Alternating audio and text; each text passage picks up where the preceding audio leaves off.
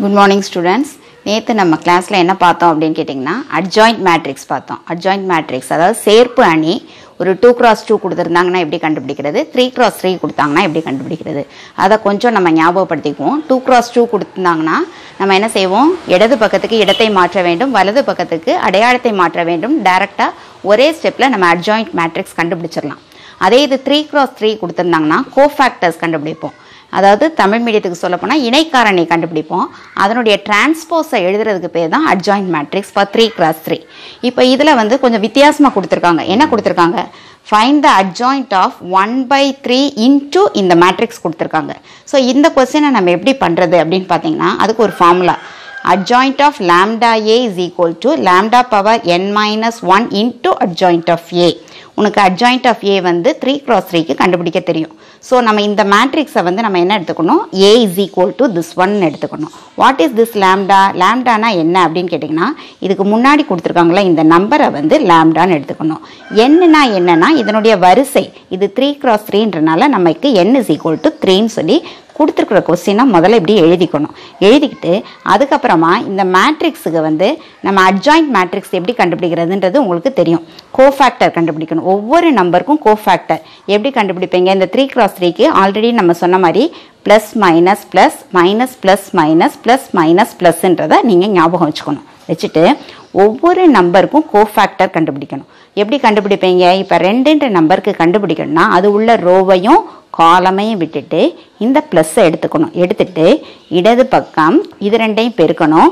Minus இது ரெண்டையும் பெருக்கி எழுதணும். அப்போ ஓரன் ரெண்டு மைனஸ் இன்ட்டு மைனஸ் வந்து என்னவாயிரும்? ப்ளஸ் ஆயிரும். அப்போ டூ டூ சார் ஃபோர் ஸோ உங்களுக்கு ஆன்சர் வந்து சிக்ஸ் கிடைக்கும். இப்படி நம்ம ஒவ்வொரு நம்பருக்கும் என்ன கண்டுபிடிக்கணும்? கோஃபேக்டர்ஸ் கண்டுபிடிக்கணும். கண்டுபிடிச்சிங்கன்னா உங்களுக்கு கோஃபேக்டர் மேட்ரிக்ஸ் கிடச்சிரும். ஏஐஜே இஸ் ஈக்குவல் டு இதை வரிசையாக நீங்கள் எழுதிடணும். எழுதிட்டு அட்ஜாயிண்ட் ஆஃப் ஏ அப்படின்னு சொல்லும்போது இதனுடைய டிரான்ஸ்போஸை எழுதணும். எப்படி டிரான்ஸ்போஸை எழுதணும்? இதனுடைய காலமை வந்து என்னவா எழுதணும்? ரோவாக எழுதணும்.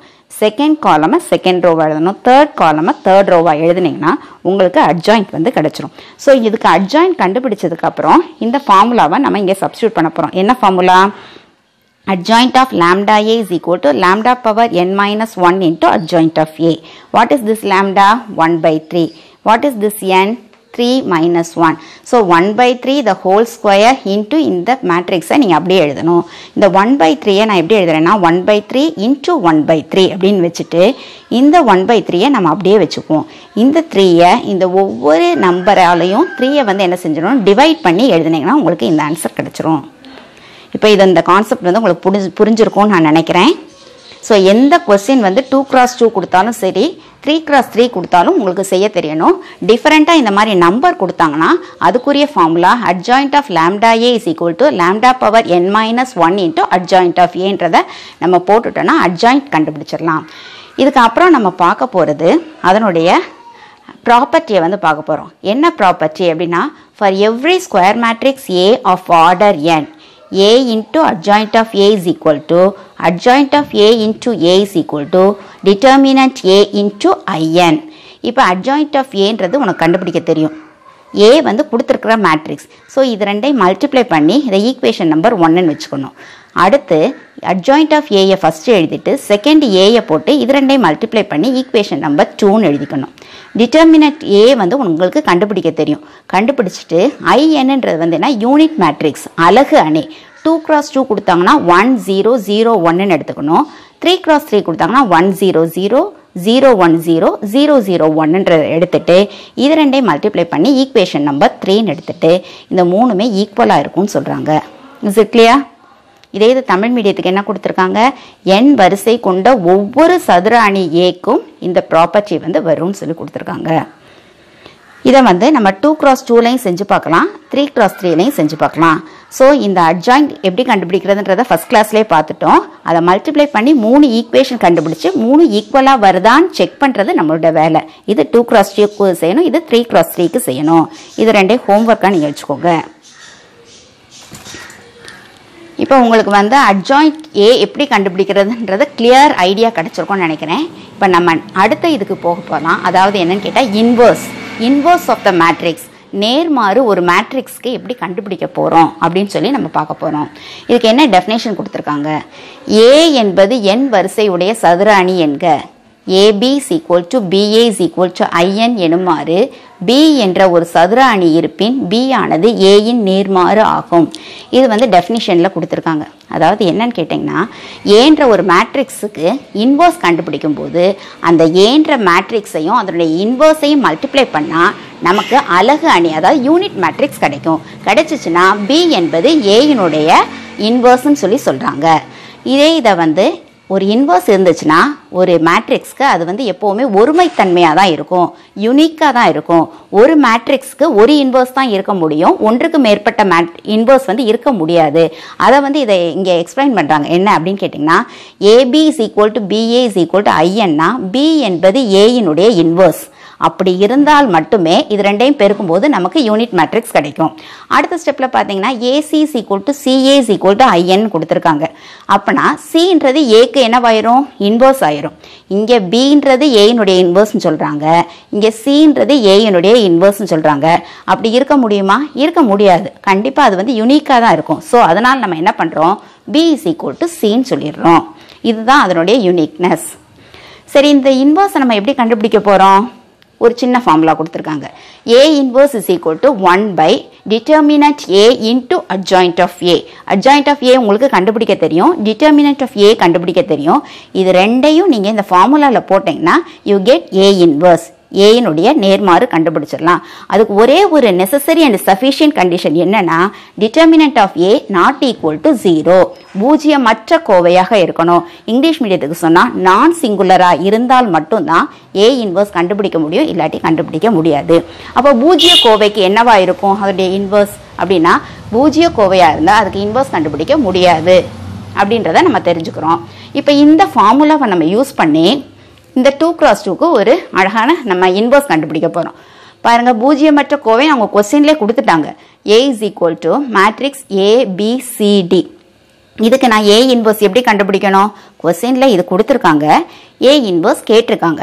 ஸோ இது ரெண்டையும் கனெக்ட் பண்ணுற ஃபார்முலா வந்து A inverse is equal to one by determinant A into adjoint of A உனக்கு டிட்டர்மினட் ஏ கண்டுபிடிக்க தெரியும்ல? எப்படி கண்டுபிடிப்பீங்க? இந்த ரெண்டு ஏயும் டியையும் மல்டிப்ளை பண்ணும். ஏடி மைனஸ் பிசின்னு போட்டுருணும் this is not equal to zero இது வந்து நாட் ஈக்குவல் டு ஜீரோன்றத அவங்களே கொடுத்துருக்காங்க. பூஜ்ஜியமற்ற கோவை அணின்னு கொடுத்துருக்காங்க. அட்ஜாயிண்ட் ஆஃப் ஏ வந்து டூ கிராஸ் டூக்கு இந்த இடது பக்கத்துக்கு நம்ம என்ன செய்வோம்? இடத்தை மாற்றுவோம். அப்போ ஏ உள்ள இடத்துல டி வந்துடும் டி உள்ள இடத்துல ஏ போயிடும் வலது பக்கத்துக்கு அடையாளத்தை மாற்றும் போது பின்றது மைனஸ் பியாக மாறிடும் சின்றது வந்து மைனஸ் சியாக மாறிடும் ஸோ இது ரெண்டையும் நம்ம கண்டுபிடிச்சோடனே இந்த ஃபார்முலாவில் போட்டுருவோம். A inverse is equal to one by determinant A நீங்கள் என்ன கண்டுபிடிச்சிருக்கீங்க? AD minus BC adjoint of A நம்ம என்ன கண்டுபிடிச்சிருக்கோம்? D minus B minus C A so this is the value of A inverse அதாவது ஏ இன்வர்ஸுடைய மதிப்பு இதுதான்.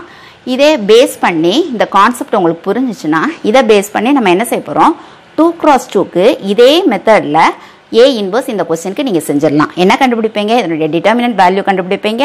இதனுடைய அட்ஜாயின் கண்டுபிடிப்பீங்க? இந்த ஃபார்முலாவில் போட போகிறீங்க அதே மாதிரி த்ரீ கிராஸ் த்ரீக்கு செய்யணும்.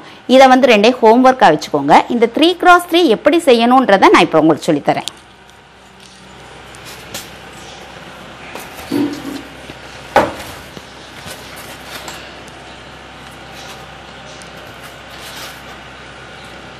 இப்போ இங்கே வந்து த்ரீ கிராஸ் த்ரீ கொடுத்துருக்காங்க. இதனுடைய இன்வர்ஸ் கண்டுபிடிக்க போகிறோம் நமக்குரிய இன்வர்ஸ் ஃபார்முலா உங்களுக்கு தெரியும். A inverse is equal to one by determinant A into adjoint of A இதனுடைய டிட்டர்மினன்ட் வேல்யூ வந்து ப்ளஸ் ஒன்லேயே நம்ம படிச்சிருப்போம். Two into first number into இது உள்ள ரோவையும் காலமையும் விட்டுட்டு இந்த ரெண்டு நம்பரையும் மல்டிப்ளை பண்ணோம். நாலு இன்ட்டு ரெண்டு எட்டு. மைனஸ் ஒன்று இன்ட்டு ஏழு வந்து ஏழு.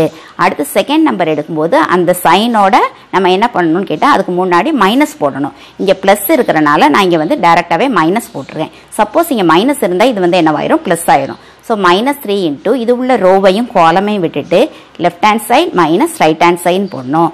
ப்ளஸ் ஒன் இன்ட்டு இது உள்ள ரோவையும் காலமையும் விட்டுட்டு left hand side minus right hand side இதை நம்ம சிம்பிளிஃபை பண்ணும்போது நமக்கு ஆன்சர் டூ வருது.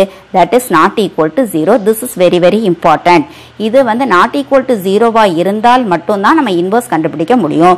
சப்போஸ் இந்த இடத்துல இஸ் ஈக்குவல் டு ஜீரோன்னு வந்துருச்சுன்னா ஏ இன்வர்ஸ் காண இயலாது அப்படின்றத டேரெக்டாகவே நம்ம எழுதிடலாம். இப்போ இப்போ ஒவ்வொரு நம்பருக்கும் நம்ம என்ன செய்யணும்? இணை காரணி அதாவது கோஃபேக்டர் கண்டுபிடிக்கணும். நான் சொன்ன மாதிரி plus minus plus minus plus minus plus minus plus அதே மாதிரி ஒவ்வொரு சைனை எடுத்து ஒவ்வொரு நம்பருக்கும் நம்ம இணைக்காரணி கோஃபேக்டர் கண்டுபிடிக்கும் போது அது உள்ள ரோவையும் காலமையும் விட்டுட்டு இடது பக்கம் மைனஸ் வலது பக்கம் போட்டு நீங்கள் எல்லா நம்பருக்கும் கோஃபேக்டர் கண்டுபிடிச்சிருவீங்க இணைக்காரணி கண்டுபிடிச்சிருவீங்க. இப்போ இந்த இடத்துல கோஃபேக்டர் மேட்ரிக்ஸை நான் இங்கே எழுதியிருக்கேன். அதே மாதிரி இணைக்காரணி அணி எழுதியிருக்கேன். அப்போ அட்ஜாயிண்ட் ஆஃப் ஏன்றது கோஃபேக்டர் மேட்ரிக்ஸோட ஹோல் டிரான்ஸ்போஸ் அப்படின்னு சொல்லும்போது இந்த காலமை என்ன செய்யணும்? ரோவாக எழுதிடணும். செகண்ட் காலமை செகண்ட் ரோ தேர்ட் காலமை தேர்ட் ரோவாக எழுதிடுவோமா? So A inverse is equal to இந்த ஃபார்முலாவில் நம்ம இங்கே கண்டுபிடிச்சிருந்த இங்கே சப்ஸ்டியூட் பண்ணிடணும். அவ்வளோதான் ஸோ இதை பேஸ் பண்ணி find the inverse of the matrix இதை வந்து நீங்கள் செஞ்சுருங்க. மீதியானதை நெக்ஸ்ட் கிளாஸில் பார்க்கலாம். தேங்க்யூ